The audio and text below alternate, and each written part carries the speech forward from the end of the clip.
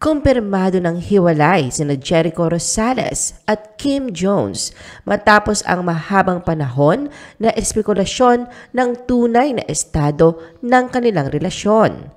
Narito ang mga detalye ng kanilang hiwalayan. The Philippine Showbiz List presents detalye sa confirmed breakup ni Jericho Rosales at Kim Jones. The Rumors. Taong 2022 nang unang lumabas ang usap-usapan na hiwalay na sina Jericho at Kim. Isa sa mga napabalitang dahilan ng kanilang hiwalayan ay ang pagbabalik ni Jericho sa Pilipinas mula sa Amerika ng mag-isa. Ikinagulat ito ng kanilang mga fans at followers Dagdag pa rito na unang inihayag ni Jericho na ipagpapatuloy niya ang kanyang pangarap sa Hollywood. Kaya naman ang pag-uwi niya sa bansa nang hindi kasama si Kim ay hindi maiwasang hindi bigyan ng ibang kahulugan. Tila nakarating agad kina Jericho at Kim ang mga balitang hiwalay na sila dahil agaran din nila itong tinuldukan na makapanayam ng entertainment press kung ano ang tunay na estado ng relasyon nila ni Kim sa halip na sagutin ng diretsyo. Dinaan lamang ito ni Jericho sa ngiti. Sa isa namang ambush interview, makikita na na sa loob ng sasakyan niya si Jericho na agad na kinumusta ng media patungkol kay Kim. Magilyo namang sinagot ito ni Jericho at sinabing okay naman daw sila ni Kim at abala ang asawa na noong mga panahong yon daw ay nasa Paris para sa Fashion Week.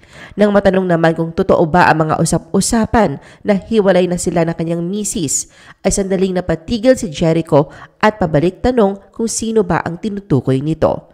Nang marinig na tungkol sa pagsasama nilang mag-asawa, ay mapapansin sa mukha ni Jericho na tila hindi siya komportableng sagutin ito at umiwas at sinabing, Alright guys, I love you, thank you. Hindi man direktang nagkomento sa mga usap-usapan, ay may pagpapalagay na maayos pa rin ang kanilang relasyon bilang mag-asawa na magpalitan sila ng mga sweet messages sa Instagram. Noong September 22, 2022, ay nag-post si Kim ng short but sweet birthday message kay Jericho para batiin ito sa kanyang 43rd birthday. Paglipas ng halos isang taon, may ilang mga tao pa rin ang naniniwala na hiwalay na talaga sila Jericho at Kim at ayaw lang daw ng mga ito na aminin sa publiko kaya naman sa pagpasok ng taong 2023, hindi pa rin mawala-wala ang issue. Sa opening ng isang restaurant ni Jericho, hiningan muli siya ng reaksyon sa breakup rumors nila ni Kim. Casual na sagot niya rito, People are entitled to think what they think. I mean, ano ang gagawin ko? Tatawa lang ako. Ayaw na rin daw sanang palakihin ni Jericho ang issue dahil hindi naman daw siya yung tipo ng tao na kailangang ipaliwanag ang sarili sa sino man. What you see is what you get nga raw ayon kay Jericho. Ang mahalaga lang sa kanya ay namumuhay siya ng payapa, may pagmamahal at respeto. Sinabi rin ni Jericho sa parehong panayam na abala si Kim sa mga collabs nito.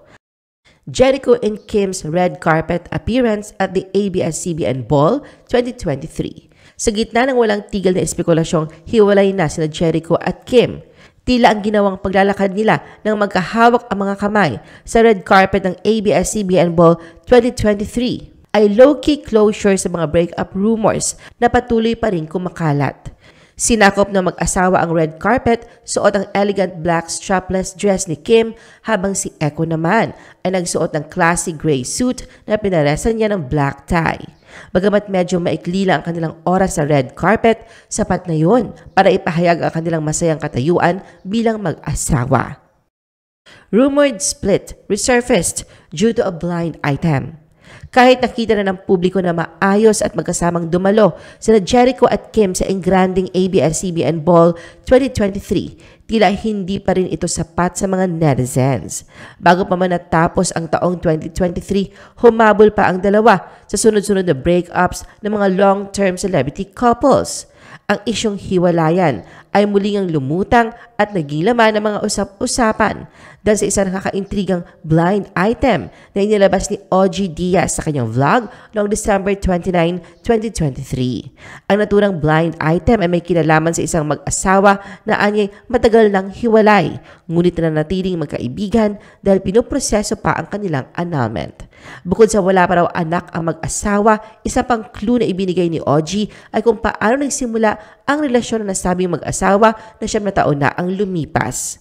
Dagdag ni Oji na patuloy na nakasuporta ang dalawa sa isa't isa sa kabila ng kanilang paghihiwalay. Sinabi rin ni Oji na hahatiin na mag-asawa ang kanilang ari-arian at ibebenta rin daw ang kanilang tahanan. Hindi nagbigay ng anumang dahilan si Oji patungkol sa hiwalayan dahil ayon sa kanya, wala raw nabanggit ang kanyang source tungkol dito. Ang nasabing blind item ay ibinahagi ng isang Facebook page na may kasamang pixelated na larawan ng mag-asawa. Dito, lumakas ang hinala na sina Kim at Jericho ang tinutukoy sa nasabing blind item. Jericho and Kim exchanged comments and jokes on IG amidst ongoing breakup rumors.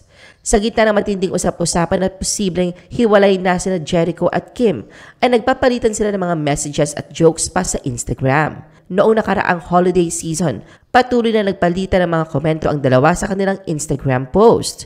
Hindi pa nagbibigay ng bagong pahayag sila Jericho at Kim hinggil sa pinakabagong aligasyon na hiwalay na sila. Ngunit ang kanilang pagtugon sa isa't isa sa IG ay nagpapakita ng maayos na ugnayan. Bukod dito, ang mga netizens ay nag-iwan din ng kanilang mga komento sa IG accounts na mag-asawa at nagtatanong hinggil sa kanilang status, ngunit hindi ito sinasagot ng dalawa. Noong December 25 ay nag-post ng series of photos si Kim para ipakita ang kanyang outfit at paglalaro ng Scrabble. Sa caption ng kanyang Instagram post, nagpatawa siya na sanay walang mag-away na pamilya dahil lamang sa laro ng Scrabble. Biniro ni Jericho ang misis at nagkomento ng, Try to fake lose for once, Kim. Your mom is still on the game table wearing tears on her face. Balik biro naman ni Kim kay Jericho at Jericho Rosales official LOL, she ruthless, who's she kidding?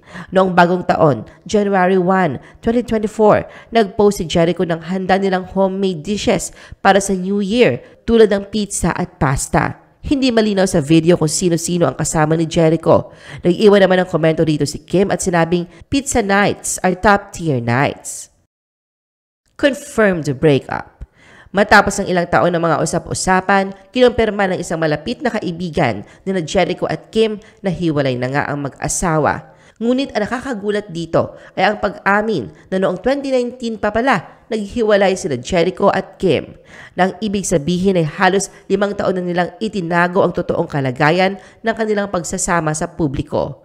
Ang balita ay kinumpirma ni Rico Ocampo na ninong sa kasal ni Jericho at Kim. Inamin niya ito sa pamamagitan ng official statement na inilabas sa ABS-CBN News noong January 29, 2024. Ayon kay Rico, nananatiling very good friends ang dalawa kahit na nagdesisyon silang tapusin ang kanilang pagsasama bilang mag-asawa. Ayon sa kanya, mutual decision at amicable separation ang nangyari kina Jericho at Kim, ngunit hindi na niya inilahad ang eksaktong dahilan ng paghihiwalay ng mga ito. Bahagi pa ng kanyang pahayag.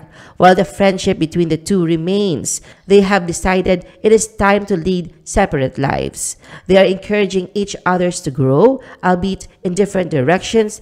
It was a mutual decision, an amicable separation, dealt with grace and maturity by both parties.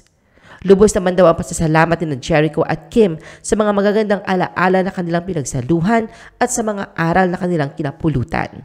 Sinabi nila na sabay na nilang hinarap ang kanilang paghihiwalay ng may lubos na paggalang at pag-aalaga sa isa't isa. Dahil sila ay best of friends, tinukoy ni Jericho at Kim na mahal nila ang isa't isa tulad ng isang pamilya. Dagdag pa ni Rico na paghihiwalay ni Jericho at Kim ay hindi dala ng masamang damdamin. Sa kabaligtaran, maaaring sabihin ng isa na ito ay isang pagpapakita ng kanilang pagmamahal at paggalang dahil sina Jericho at Kim ay nais lamang ang pinakamahusay para sa isa't isa. Nagpapasalamat din sina Jericho at Kim sa mga taong nagbigay ng suporta sa kanila sa loob ng halos limang taon ng kanilang pagsasama at humihiling sila na irespeto ang kanilang privacy. Sa kabila ng kanilang paghihiwalay, itinuloy pa rin daw nila Jericho at Kim ang kanilang mga collaboration sa trabaho. Halimbawa, sa isang pelikula kung saan si Kim ang writer, director at artista, habang si Echo naman ang producer. I-post ang inyong comments at reaction sa baba.